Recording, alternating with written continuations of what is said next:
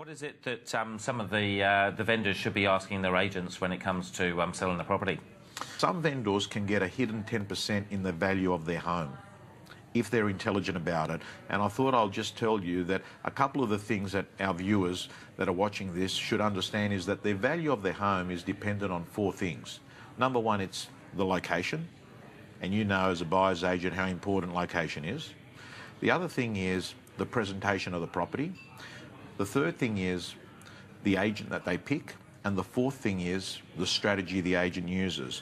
Now, the great news is, Chris, that out of those four things, the vendor can control three of those. They can control the presentation, they can control who they pick to sell with, and they can control the strategy.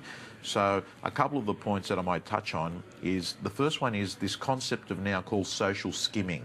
So, what we're seeing is that consumers, whether they're on Instagram or realestate.com.au, they're using their thumb and they're flying through things you know, there's a congested zone on the internet. There's so much information. So they're flying through things. And what I'm saying to the viewers, make sure that as people are flying through, that you've got photos and headlines that stops the consumer and says, wow, look at that.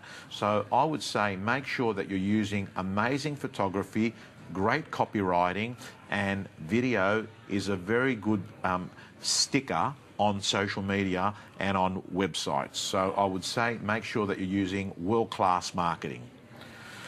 The second thing is, is the strategy of pricing. You want to outprice the competition. And Lee would know from the world of banking that that headline number seems to attract eyeballs. And in real estate, we know that a lower figure attracts people. So what I'm saying is don't sell your property too cheap, but be intelligent. You want to outprice the competition. And whether it's an auction or a private treaty, you might have to, you know, you want to try and encourage the right audience to come through. And once you've got that audience in, you can actually get people to fight over the property. So one of the things that we know about psychology and um, real estate is that people filter with their brain, but buy with their heart.